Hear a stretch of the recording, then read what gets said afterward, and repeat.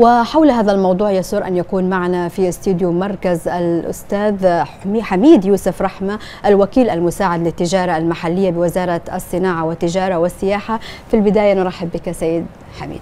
أهلا وسهلا. طبعا مساء. كيف يمكن بداية يعني تحقيق أقصى درجات الشفافية للمستهلك في كل ما يتعلق بتطبيق يعني ضريبة القيمة المضافة؟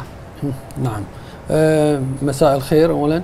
مثل ما تعرفون أنه وزارة الصناعة والتجارة تحرص دائما على تحقيق أعلى درجات الشفافية مع السادة التجار والسادة المستهلكين وهناك تواصل مستمر مع السادة المستهلكين وكذلك تعاون مستمر مع القطاع التجاري متمثل بغرفة التجاره وصناعة البحرين.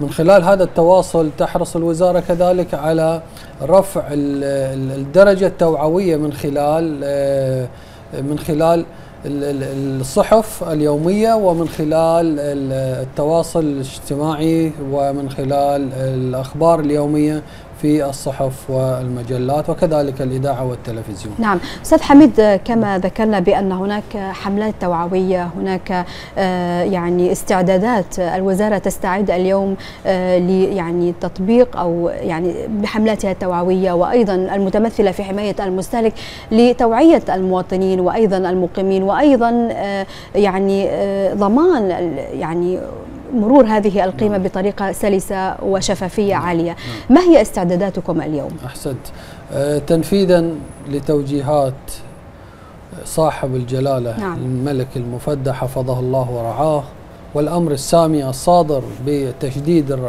التوافق والرقابة على السلع والخدمات باشر سعادة وزير الصناعة والتجارة بعقد اجتماعات مع المعنيين والمسؤولين بإدارة حماية المستهلك وكذلك بإدارة التفتيش الشامل بوزارة الصناعة والتجارة.